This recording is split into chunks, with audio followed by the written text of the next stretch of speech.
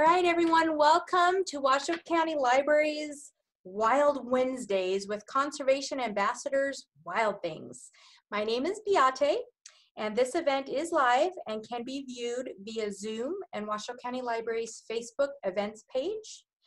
And before I introduce our lovely presenters today, I just want to emphasize that if you want to learn more about today's topics, there's supplemental materials and activities that can be found via our website, Washoe County Library forward slash events, as well as on our Facebook page. Question and answer will follow the formal presentation. And just so you know, so um, our special guest here, there's two parts to this presentation. Um, we've got we've got a little mini part A, and then the the um, main event will follow shortly. With conservation ambassadors, I also want to give a huge shout out to Friends of Washoe County Library because that's how we are able to fund these dynamic opportunities for our community. And I want to give a huge shout out to conservation ambassadors for what they do for our wild things out there. And this is our friend Gabe Kirschner. I hope I said your name right. You'd think I'd have it right by now, but he's Gabe. And tell us about what's going on today, Gabe. Terrific. Um, well, my name is Gabe, and this is Myrtle.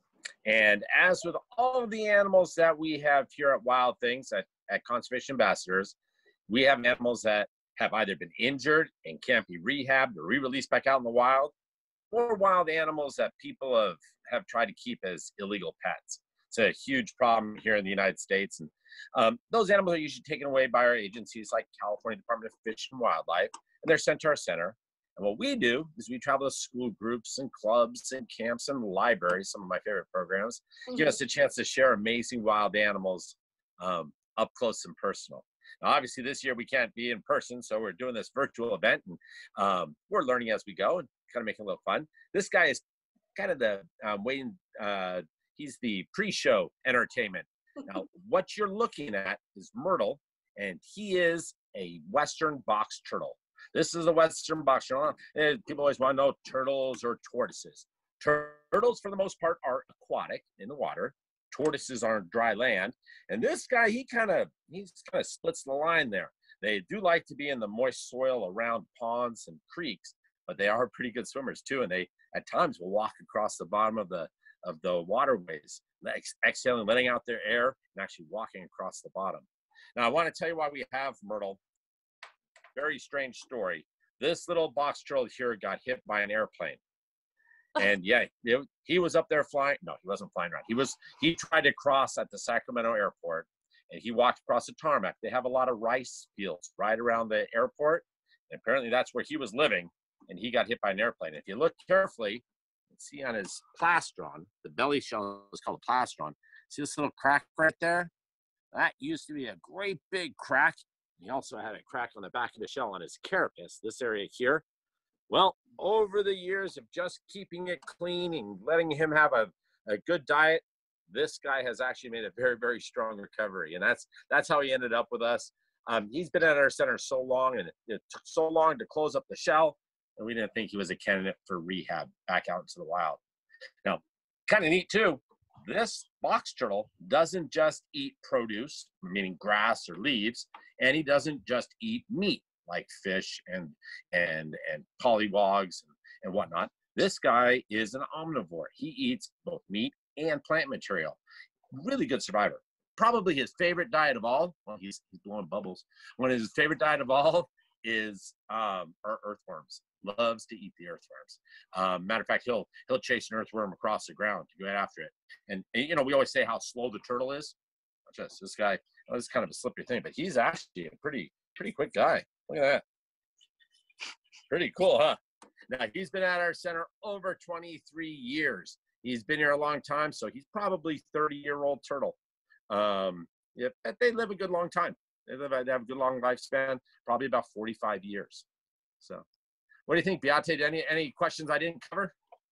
Let's see. We talked about how long you've had him, but there's no way to tell how old he is. No, you know the idea. People say you count the scutes or the sections on the carapace and you can tell the age of the turtle or the tortoise, that's a fallacy. It's not true. These, this, he's born with each one of these little scutes, right? We're born when he's hatched. When this guy hatches out, he has these exact same number of scutes and they get bigger as he gets bigger. So you can't count those scutes until the age of the animal. Um, you can tell a little bit about, well, animals, their, their general size, that they're not just a hatchling, but they grow according to how much food they take in. So this could be as big as he is when he's 45 years old, or he could have gotten to be twice the size. I've seen Western box turtles almost that big. He just hasn't really grown that much. He's adorable. What an interesting story for a turtle to get hit by an airplane. Turtle by an airplane. yeah, you gotta be pretty fast turtle to get hit by an airplane. gotta be pretty fast. And then just to review the Western box turtle. So do we only see them? So where where else do they yeah, live? they're, they're well. This guy here, you don't see him in the really arid areas and the very dry areas, but you see him in in kind of the uh, soft earth forest with with creeks. You'll see them on the western half of the United States. Hence Western box turtle. Correct. And there's one that lives in the east, and it's called the eastern box turtle. Very creative names. Very hey, it makes sense. I like names like that. All right, should I put him back? Yeah, go ahead and put him back. I think we know, got all talked that. about how he. I talked about how he hinges, right? How he goes all the way in. This is kind of because he's hinged here. When he closes up, he can act. He's not going to do it. He's going to stay out. But he can close that shell all the way up, and other animals won't be able to get to him. And he's fairly well protected. Pretty cool. All right, let me put him away. Say goodbye to Myrtle. Bye, Myrtle. It's a pretty silly name. That's a perfect name. So, welcome to our folks that have joined us. Um, so, one of our our um, our questions was, "Is is the turtle the surprise animal?" So, no, he is. no, he's not the main. He's not the main. Although he thinks he is. So. so, what do you have for us, Gabe, for the main event? to the main event. Today we're going to travel to a beautiful place that I I hope to one day visit, and I hope to visit um, to see all these amazing creatures that we brought. Um, uh, Jojo got two representatives um, for you to meet here today. We're going to travel to an island that's about three times the size of California, so it's about three times bigger than California, off the western coast of Africa. I'm sorry, off the eastern coast of Africa. Don't go to the western coast of Africa. It's not there. It's on the eastern coast of Africa. And on this island live animals that are found nowhere else on the planet. Nowhere else. And they're fantastic. We brought two of them for you to meet. We're going to start with one. Her name is Samantha. And Samantha has a very unique way of saying hello. So watch carefully because she might only do it one time. From the island of Madagascar. Out. All right, Sam, come on out here and meet everybody in Washoe County. Here we go. Isn't she beautiful? This is Samantha, and you're looking at a brown lemur.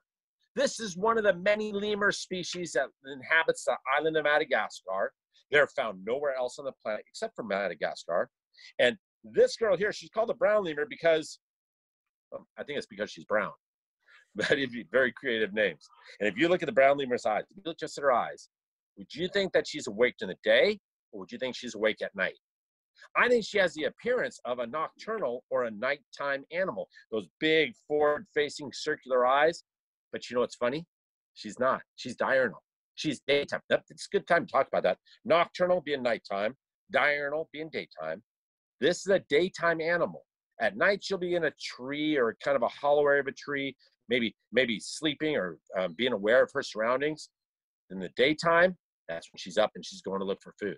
Now they get up in the morning. They, they live in a family group, a group called a troop, and they say good morning to each other. They greet everybody in their family every morning, and that builds strong family bonds. You guys should try it at home. Get up and say good morning to your your family members. But this this girl, she gets up, and you know how one lemur says good morning to another lemur. I'm gonna I'm gonna make it sound like a pig. She's gonna answer me back. She's gonna do something rather strange. Here we go. The lemur hello. Here we go.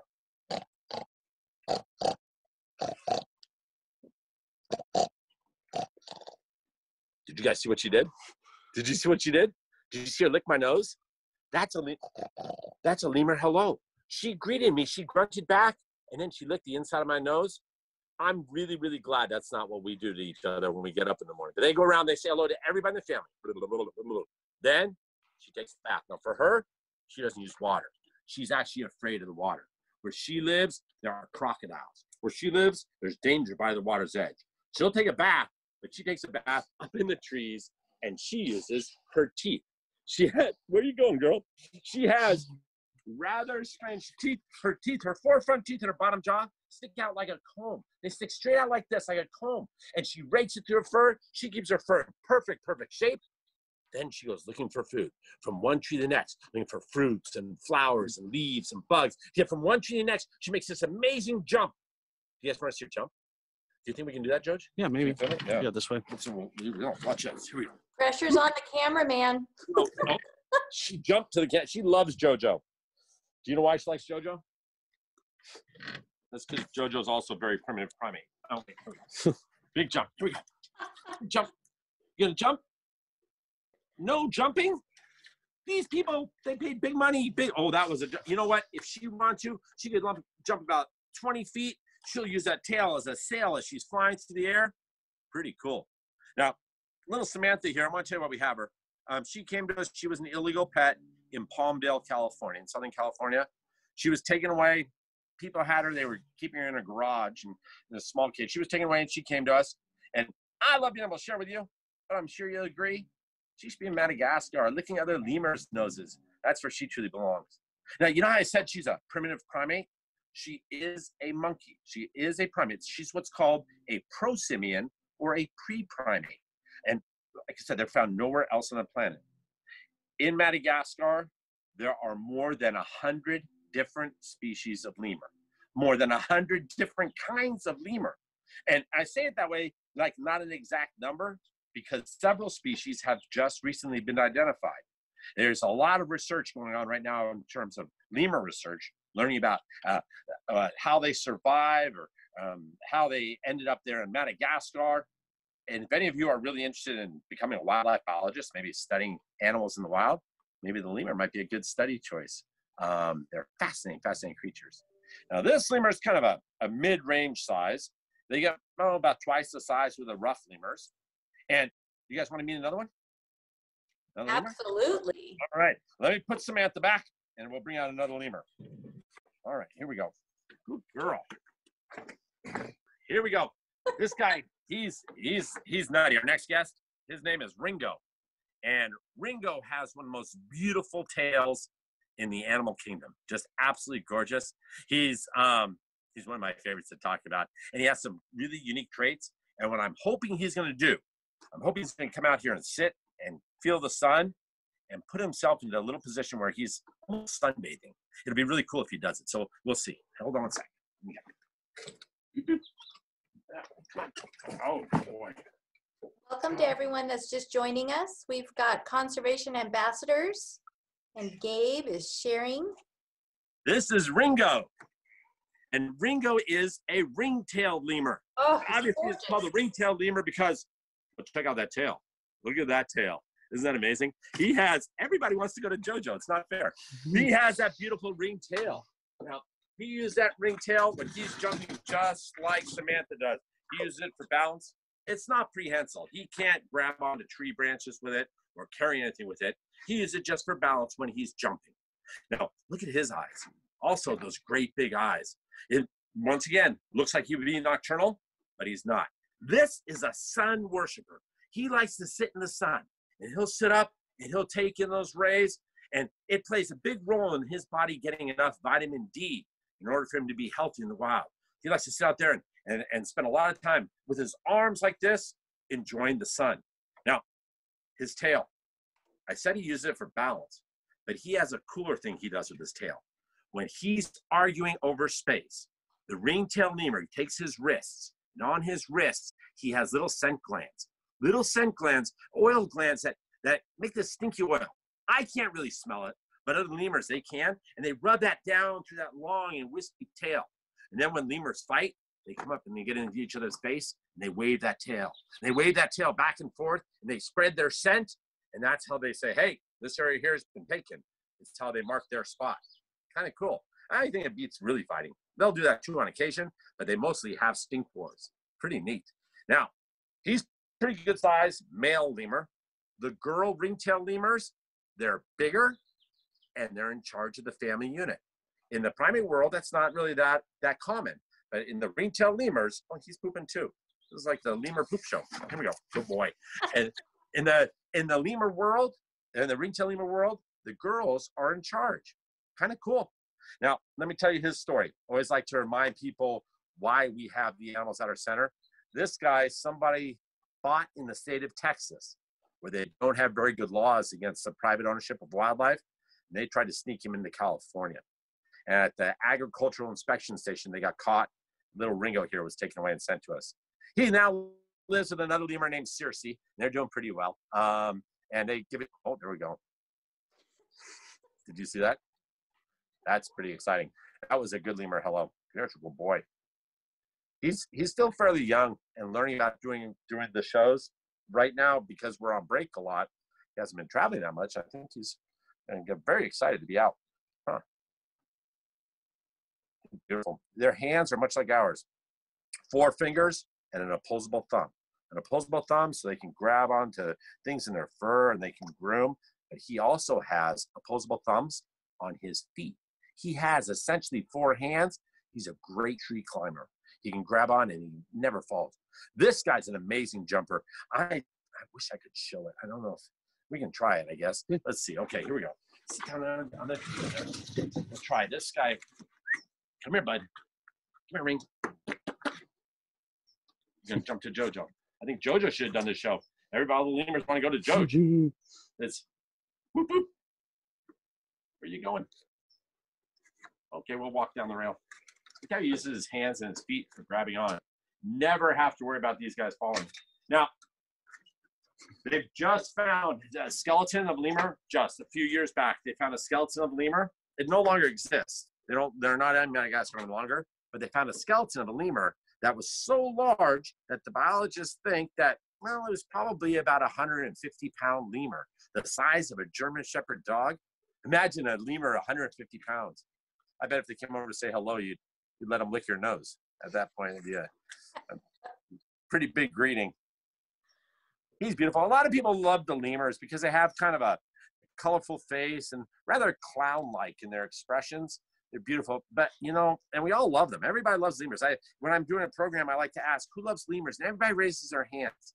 But we're not really doing enough to protect the land of the lemurs, Madagascar. We're we're doing well with the lemurs in captivity. They're being bred, and the zoological parks have lots of lemurs, and people are learning about them. We need to put that into play, and we need to really protect Madagascar, the, the, the only place that these guys are found in the wild. Isn't he amazing? He's beautiful. Would you have a question for me? Oh, here we go. We have questions. All right, let me go to the top. All right. How so we're going back to Miss Samantha. How rare are brown lemurs? You know what? Brown lemurs are actually one of the more common lemurs, but all lemurs are considered endangered in the wild because of the loss of the forest that they call home. So while the brown lemur is not critically endangered, they, they are um, disappearing at an alarming rate. We do have to be careful with them. The brown lemur, it's interesting that you brought that up. The brown lemur breeds very readily in captivity and Duke University in the East Coast. They've bred some brown lemurs and they're actually reintroducing them back out into the wild. It's one of the few primates that are actively being bred in captivity and then moved to the wild as a group and released back out in the wild where they truly belong. Pretty cool. Super cool. And the question came up how high can she jump? So back to Samantha. Samantha can't jump that high anymore. She's quite elderly. she's she's in her 30s and um, she has wow. a captive belly, but she can jump from the ground up onto this four foot table, no problem, or up onto this deck rail. And she could leap from tree to tree about, oh, about 15 feet, much further than we can. But I've seen some younger lemurs with amazing jumping ability. She can't do that any longer, but she does, she does still does better than we ever could. Wow. And then Ringo, how old is Ringo? Ringo is four years old now. Four years old. So he's still young compared to Samantha in her 30s. Wow. Mm-hmm. Okay, let's see. We've got um, lots of so cutes and Oz, of course. Of course. Um, if he is not nocturnal, why does he have big eyes? And from the video, like they're kind of yellow. Yeah, it's a very interesting question. Maybe actually, maybe they the their ancestors were nocturnal. and they've retained the large eyes. But they also have those large eyes so they can see small insects. They can have very good vision, and also they have um, color vision. They can tell if a fruit is ripe or not. They have color vision just like we do. Huh. Which is rare in mammals, is that correct? Well, not in fruit eaters. In fruit eaters, it's um, imperative that you know what's available for eating. But in creatures that are are predatory, like let's say the, the you know the cats, they they don't see in color.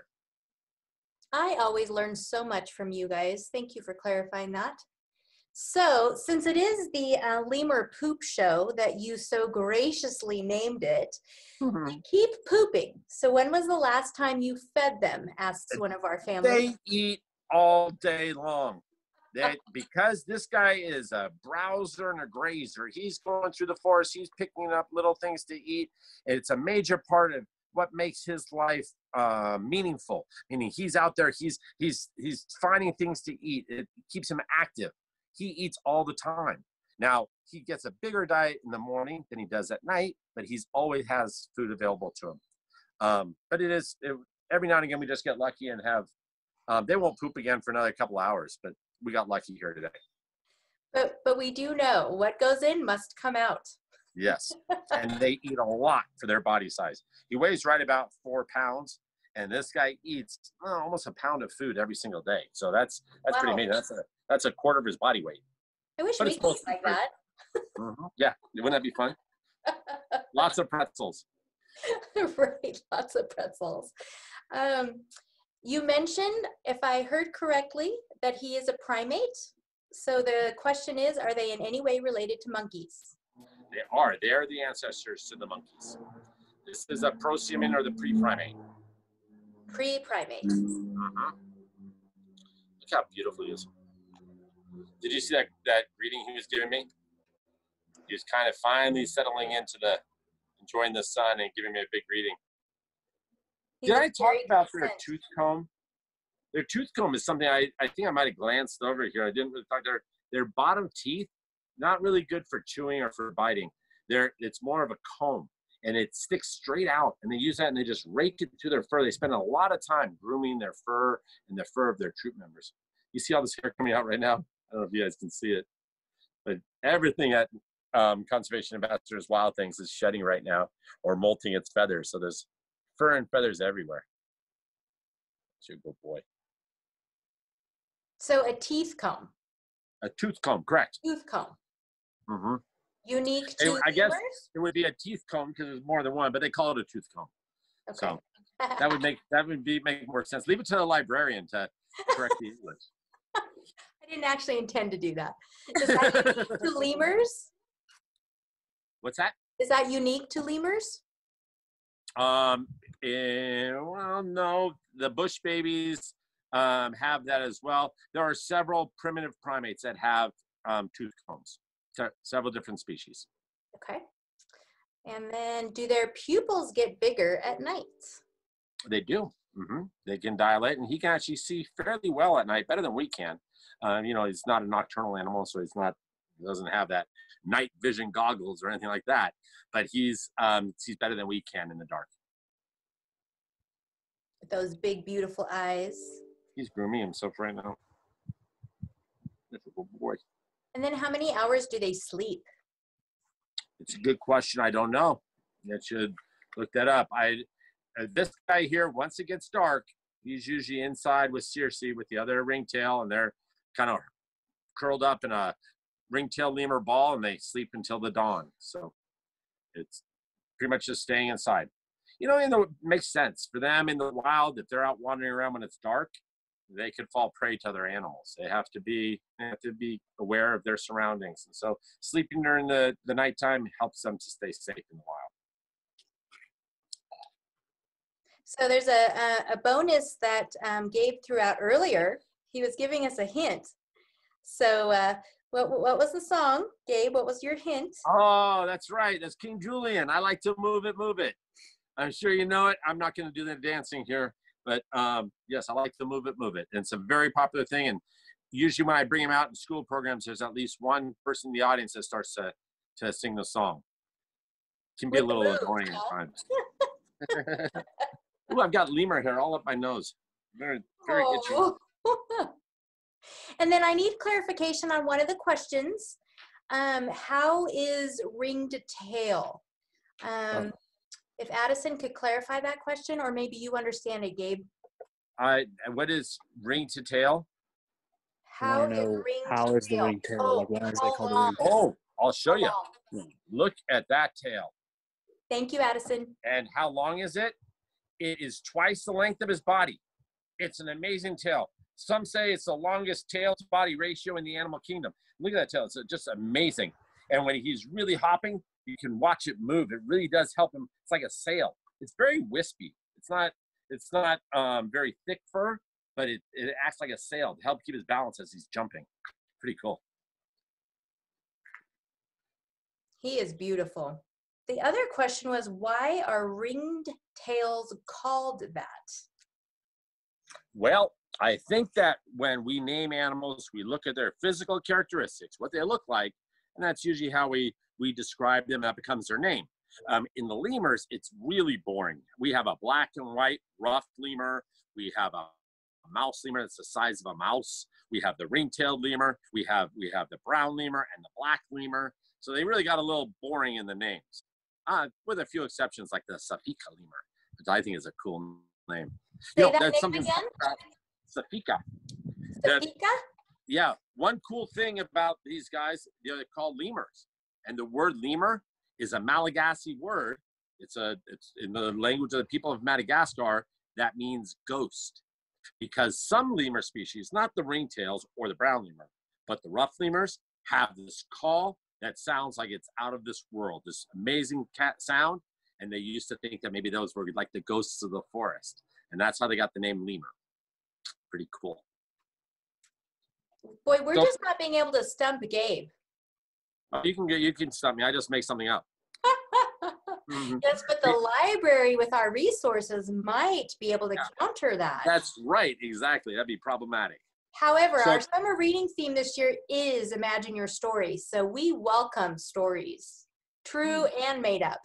True animated. awesome. Oh, the um the one thing I would like to stress before we before we go, and I think I've touched on it briefly. Everybody loves lemurs. They're gorgeous, gorgeous animals. We have to do a better job than the people before us in terms of protecting Madagascar. And I think there is hope. I think there's hope by people traveling to Madagascar to visit the, the lemurs and the, the beautiful forests that are there, providing a source of funding for the for the land. Meaning put aside land and and then people travel there to see the lemurs in the wild where they truly belong. Um, I like I said, I hope they're here for forever. I hope they're here for many, many more years. They're fascinating creatures. So, um, give us a little overview about conservation ambassadors. I know you touched on it at the very beginning. We are a rescue center, and we have two sites. One here in Weimar that we operate, Jojo and I, and there's another site in Paso Robles, California. And together, we have Wild Things up here, Zoo to You, Paso Robles, and together we're conservation ambassadors. And we are an organization whose mission is to utilize animals that have nowhere else to go, only animals that need homes, and take those animals into schools and clubs and camps and libraries and, and teach people and get, you know, even more than teaching people specific things, I think the most important thing is to get people excited about the wild world. So maybe they'll be more likely to to to protect that the wilderness, the wild area. So, um, I think we've got one last question. Okay. And, uh, maybe we'll we'll stump Gabe on this one. Maybe. Okay. Why do they like JoJo so much, Gabe? I said because he's also a very primitive primate. but aside from that, Jojo spends a lot of time just sitting with them. And I'm a pretty busy person. I do most of the work while Jojo's out there sitting with them and just being very, very positive and um, bringing them treats. So, Should we let JoJo answer that question? no, Well, I don't think that's so. pretty much the truth. You know, it's- I get all the fun time. Well, I want to thank Washoe County Libraries for having us. And and next week, what do we have next week? Beate? oh no no no! We're only Oh, going to give right. a a hint. Well, I can't remember what it is, so I need a hint. hint. well, we talked about bringing both species out, and the, the easiest hint I can come up with is never smile at us. Whoa, okay. Oh, you guys got to come and see some teeth next week. All right. Um, please come in. We're going to meet one of my favorite animals to talk about. One of my favorite uh, group of family of animals on the planet. Um, it's uh, some cold-blooded adventures next week. So coming out on Wednesday. All right, Gabe and conservation ambassadors and JoJo behind the scenes there. Thank you so much for sharing your talent and your knowledge and And our poop. and your poop. Thank you very much for having us.